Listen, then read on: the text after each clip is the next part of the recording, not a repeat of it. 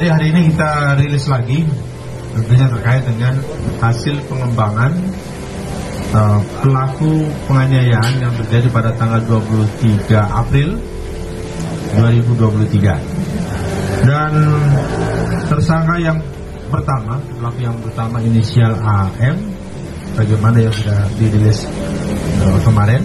Kemudian dari kemarin dan tadi malam sampai tadi pagi kita mengembangkan uh, pelakunya.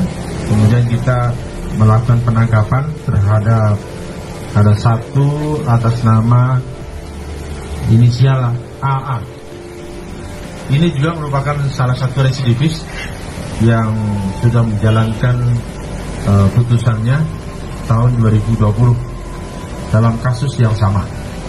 Kemudian untuk yang lain ada uh, tiga pelaku yaitu di antaranya inisial MS, kemudian MR dan AA.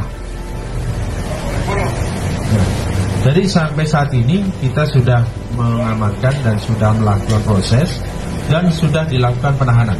Ada lima orang pelaku penganiayaan dan juga pengeroyokan terhadap dua korban. Demikian.